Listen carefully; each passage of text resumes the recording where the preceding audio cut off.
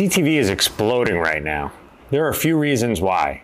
I'm Adam Paul, Executive Director, Media Alliances at LiveRamp, and here's the deal.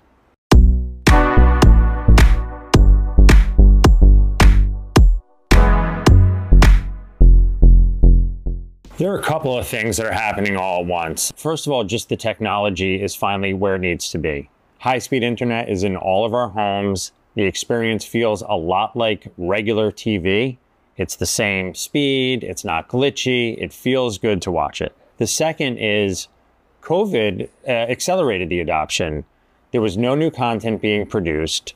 We had to find new or old things to consume that felt new. So we went to streaming platforms that were airing old episodes of programming that we used to love or, or shows we've never seen or movies that we've never seen and wanted to catch up on. And then the last is everybody became budget conscious a few years ago.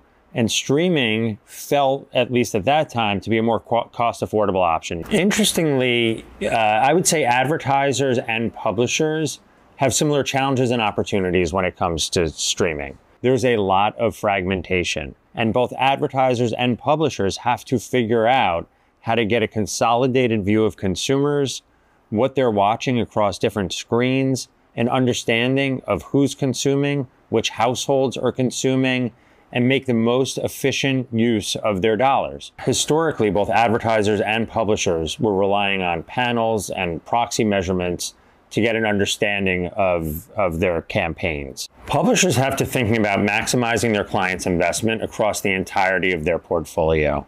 When it comes to that fragmentation across linear, streaming, various streaming apps, they're trying to understand how they can help their advertisers maximize reach, achieve the optimal frequency, and drive business outcomes. On the advertiser perspective, it's very similar, except it's not within one uh, network or one publisher, it's across the entirety of their spend.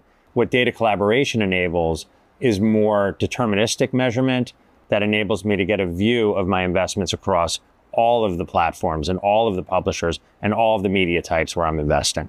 At the end of the day, it ultimately comes down to the consumer. They want an ad experience and ads to be delivered that are relevant to them.